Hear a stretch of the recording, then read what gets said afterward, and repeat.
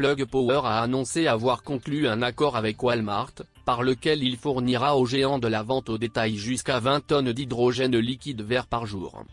Cet accord massif fait partie d'un nombre croissant de transactions alors que les grandes entreprises cherchent à se décarboniser. Cet accord d'approvisionnement en hydrogène liquide vert aux États-Unis est peut-être le plus important du genre à ce jour. De plus, alors que la guerre russe en Ukraine continue de maintenir les prix du pétrole et du gaz naturel à un niveau élevé, des accords comme celui-ci ne feront que se poursuivre. Le moment arrive où l'abandon des combustibles fossiles devient une exigence non seulement pour la décarbonisation future, mais aussi pour la rentabilité actuelle. L'accord entre Plug Power, basé à Latam, à New York, et Walmart, portera sur la fourniture de jusqu'à 20 tonnes de haches de renouvelables par jour. Cela suffira à Walmart pour alimenter jusqu'à 25 000 chariots élévateurs.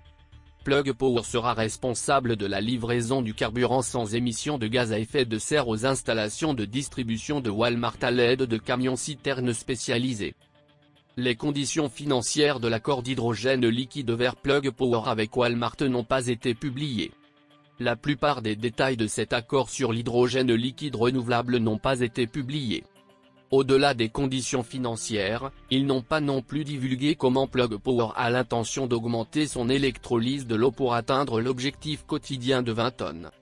Walmart a été l'un des premiers à adopter la technologie innovante de l'hydrogène et des piles à combustible depuis plus d'une décennie, a déclaré Andy Marsh, PDG de Plug Power, dans un récent communiqué de presse.